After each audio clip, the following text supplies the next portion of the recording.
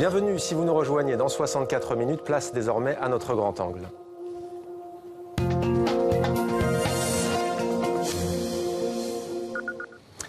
35 ans après son documentaire Journal de campagne, Amos Gitaï se rend à nouveau en Cisjordanie pour son nouveau film À l'ouest du Jourdain, qui sort cette semaine en France. Bonsoir Amos Gitaï. Merci d'être avec nous et bienvenue. Vous êtes cinéaste israélien. Vous nous emmenez dans votre nouveau documentaire à la rencontre, au fond, de celles et ceux qu'on n'entend plus quasiment dans les grands médias, israéliens et palestiniens, qui tentent de dépasser hein, les conséquences de l'occupation qui dure depuis plus de 50 ans. On regarde sans plus attendre la bande-annonce.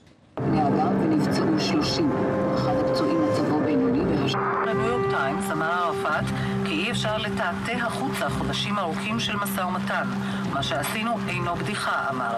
אני עורך סרט שהוא בעצם נועד להיות כמו יומן שמתעד uh, קטע אחרי קטע את uh, תהליך של uh, משא ומתן בין ישראלים והפלסטינאים. הסרט הזה הוא בנוי מסדרה של קפסולות, והוא יעבור בצורה אסוציאטיבית, באמת, ממצבים של מצבים מיניאטוריים למצבים של פוליטיקה גבוהה. حكت لي عن ابنها وحكيت لها عن محمود شفت دمعتها تبكي على ابنها نسيت انها اسرائيليه دمعي ودمعها واحد התפקיד שלי כבמאי, כאדם שכותב את היומן הוויזואלי הזה, הוא כמו תפקיד של ארכיאולוג בעצם. חלף שכבה אחרי שכבה ומנסה להבין את הסאבסטנס של האירוע. ומה הצורה שבכל זאת ניתן יהיה ליצור יחסים שהם יותר יחסים של ריקונסיליישן בתוך האזור הזה. À l'ouest du Jourdain, Amos Guitaï, pourquoi avez-vous choisi de montrer, de donner la parole à celles et ceux qui n'ont pas renoncé au fond à la réconciliation?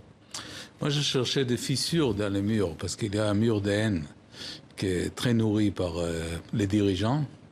Et je crois qu'il y a aussi des groupes de, très courageux, des euh, organismes de human rights, de israéliens, palestiniens, hein. voilà.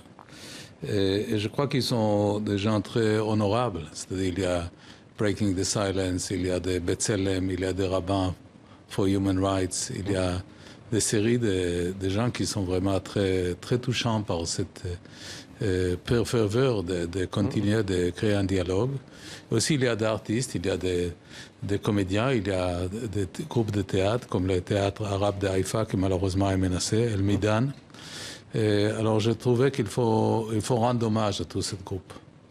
Alors, des activistes, on va en parler, on va voir ce qu'ils vous ont dit, ce qu'ils vous ont raconté, mais aussi un homme, un homme qui plane sur votre documentaire, ou plutôt deux, Yitzhak Rabin.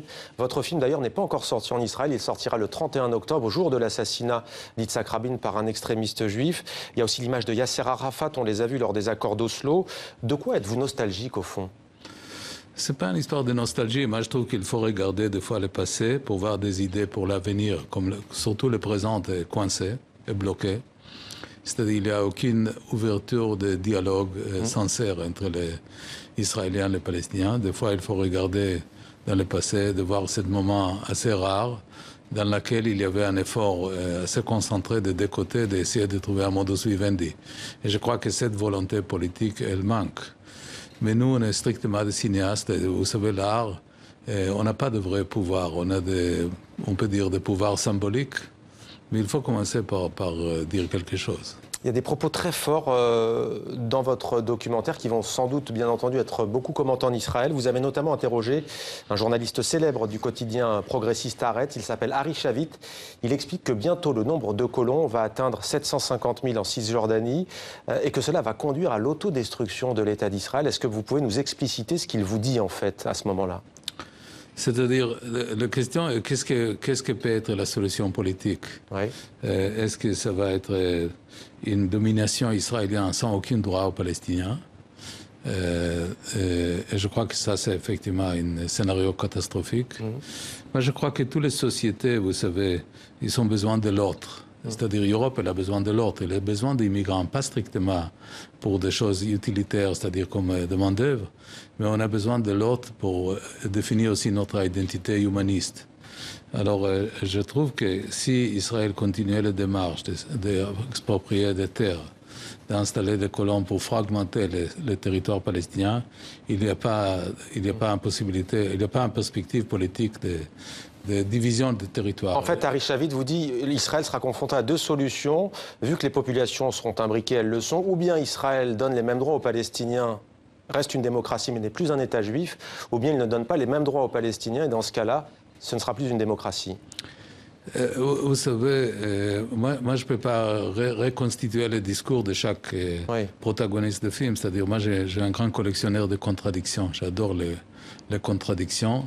Et comme je vois des, des, des choses très fermées, très indoctrinaires, style le, film de Michael Moore, je, je commence à voir des réserves. Pour moi, il faut garder une Confronter les points de vue. Il faut, il faut voir des, des- des dialectiques de, de lecture d'histoire. Alors, le film trop hermétique qui dit strictement un point de vue unitaire, même si je suis d'accord pour les arguments politiques, je ne suis pas d'accord avec les démarches cinématographiques. Justement, vous avez rencontré aussi deux jeunes femmes, deux jeunes colons. L'une d'entre elles vous raconte qu'elle a été agressée au couteau par un Palestinien alors qu'elle était enceinte. Elle s'en est tirée. Qu'est-ce qui vous a frappé dans le discours des colons que vous avez rencontrés? C'est-à-dire, euh, comme j'ai dit depuis le départ, que je cherchais des, des gens qui, qui euh, break the wall, qui cassent la mur. Ouais.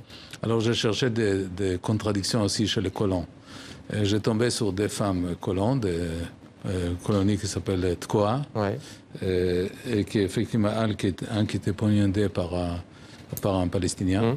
Mais malgré tout ça, il dit qu'il faut trouver un modus vivendi, Ouais. il faut trouver, il faut reconnaître l'autre. Mhm. Alors, je trouve que au-delà de ce moment très sombre et très bloqué, et avec strictement des morts de haine, euh, je cherchais partout cet euh, organisme de gens qui vont, vont nous amener peut-être à, la prochaine étape. Et à redonner de l'espoir, peut-être aussi, il y a notamment cet Israélien qui, lui, a épousé la cause des Bédouins, qui les défend et qui dit le judaïsme, c'est avant tout une idée de justice, au fond.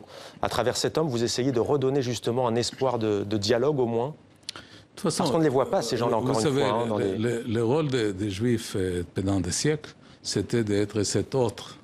Parce que les Juifs, euh, la communauté juive dans le monde entier, dans les diasporas, ils ont gardé leur euh, identité qui était différente de la société majoritaire.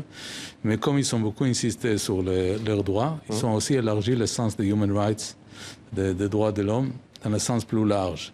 Et, c'est pour ça que je trouve qu'il faut qu'Israël reconnaisse et respecte les droits des Palestiniens et aussi les droits des citoyens arabes à l'intérieur d'Israël. Il y a une scène très touchante, très émouvante, très forte dans votre documentaire à l'ouest du Jourdain. Ce sont ces femmes que vous avez rencontrées, le cercle des parents de Beijala. C'est à 2 km de, de Bethléem. Euh, Qu'est-ce que ça vous a apporté à vous d'aller rencontrer, euh, notamment, on l'a vu dans la bande-annonce, cette femme palestinienne qui dit pour moi en face, ce n'est pas une femme israélienne, c'est une femme en deuil qui a perdu son fils? C'est tout ce groupe-là que je trouve qu'ils sont vraiment remarquables. C'est-à-dire qu'il y a des groupes de gens qui, malgré qu'ils sont harcelés par, par le pouvoir, euh, parce que vous savez, l'impact de, de gouvernements comme celui-là, il, est, il, est, il est surtout très fort sur l'intérieur des pays. C'est-à-dire sur l'artiste, sur le, le système d'éducation nationale. C'est-à-dire, maintenant, on n'a plus le droit d'apprendre les poèmes de Mahmoud Darwish. euh, je- Palestiniens, oui. euh, euh, je trouve que ça, le problème est pas qu'on on peut être d'accord ou pas d'accord avec euh, Darwish, mais il faut connaître le, le point de vue de l'autre.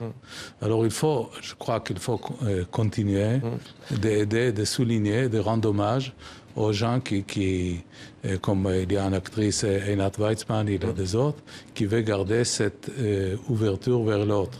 Il y a le mot aussi utopie qui revient beaucoup chez euh, les activistes, notamment de Breaking the Silence et aussi de Bethlehem. Le mot utopie, il est très fort, il revient beaucoup au fond dans cette région du monde. Moi, je crois beaucoup dans, dans le pouvoir des idées. Tu sais, les gens, ils croient que le, le pouvoir, c'est seulement les mitrailleuses ou le- l'argent. Mais les idées aussi sont fait avancer le monde. Et il ne faut pas perdre de, foi dans l'utopie, l'avenir, même si c'est, les gens considèrent euh, naïf. Mais il faut commencer quelque part. Peut-être que Benjamin Netanyahu verra votre documentaire, l'actuel Premier ministre israélien. Il y a une question que je trouve très pertinente que vous posez à l'un de vos interlocuteurs, c'est de lui demander, Benjamin Netanyahu est-il un idéologue ou un opportuniste qui aime le pouvoir? Est-ce que vous êtes sorti de ce documentaire avec quelques réponses? Écoute, euh, moi, je n'ai pas d'idée tranchée de, de qu'est-ce que qu'est-ce que son projet, qu'est-ce que son perspective et comment Oui. il va avancer les choses. Je crois qu'actuellement, il est très préoccupé de, euh, de political survival. Euh, et, et je crois que le problème, c'est pas son destin personnel. mais c'est plutôt euh, qu'est-ce qui va arriver avec ce projet d'Israël. C'est un pays qui, qui, qu'il y a des gens formidables, créatifs, mais il y a aussi des, des vrais débats intérieurs euh, dramatiques. Mmh. Et, et moi, je trouve qu'il faut soutenir celui-là, qu'il faut protéger le, le projet d'ouverture en Israël et pas les fermetures, l'autocratie, les overdoses religieuses, etc. On a assez dans cette région. C'est-à-dire, cette région, il souffre de chaque, petit groupe avec leur Dieu et l'autre n'existe pas. Il faut que l'autre existe. Comment les Israéliens voient-ils justement euh, ce qui se passe dans la région, la montée en puissance de Daesh, même si cette organisation subit en ce moment des coups euh, de la part de la coalition internationale, euh, le Liban toujours fragile, la guerre en Syrie? Écoute, Ce qui est perceptible quand même dans votre documentaire, je vous pose la question parce que c'est le sentiment d'être constamment menacé, à la fois côté palestinien, à la fois côté israélien, que son existence même est menacée. Écoute, je, je crois que c'est un bon signe. Vous savez, les gens de mon métier, de showbiz, ils adorent d'être aimés par tout le monde. Moi, je trouve que j'aime pas tout le monde. Il y a cer- certains que j'aime pas. Et je trouve que c'est normal que les films, ils sont, ils contribuent à ce débat, mais il y a pas, ils sont pas d'un côté ou un autre. ouais. Vous étiez parti à la recherche d'un petit espoir de paix, est-ce que vous l'avez trouvé? Oui, moi je trouve que tout cet organisme, ils sont mon, mon espoir de paix, parce que si on tient la main, comme et comme les rabbins de Human Rights, comme le Fund Andei, comme les journalistes Guidon Levy, Ouais. et d'aller chercher des histoires particulières, de, de dire que de toute façon, si on attend de forever euh, pour l'homme politique euh, qui va faire le boulot, on, est, on, est, on était très déçus. Alors il faut qu'il y ait une action civile. Et ce modèle-là, il est même valable pour l'Europe. C'est-à-dire il faut qu'à Europe aussi, les gens comprennent que la politique, c'est la politique, Ouais. mais il faut aussi aller d'être engagé individuellement. Juste une dernière question en quelques mots. Quel est votre rapport à la langue française? Israël est un pays francophone. TV5 Monde y est beaucoup regardé. Euh, on y parle aussi beaucoup euh, l'anglais, en dehors de l'hébreu et de l'arabe, bien entendu. Quel est votre rapport à cette langue? Comment l'avez-vous apprise? Écoute, j'ai appris dans mon école primaire euh, Ouais. à Haïfa. Et je crois, Ahmed, que tu, tu connais beaucoup mieux l'arabe que moi. Et- et malheureusement, je, je trouve que je, je trouve qu'il faut connaître les, les langues de l'autre. C'est-à-dire, euh, beaucoup d'interlocuteurs dans le film, euh, côté palestinien, ils ont pris l'hébreu, malgré qu'il y a des arabes aussi. Mais je trouve que c'est euh, pas nécessaire de comprendre des langues de nos voisins. Merci beaucoup Amos Guitaï d'être venu nous parler de votre nouveau documentaire. Ça s'appelle À l'ouest du Jourdain, sorti donc cette semaine, ce mercredi en France, et on l'a dit en Israël, le 31 octobre. Merci à vous. Merci.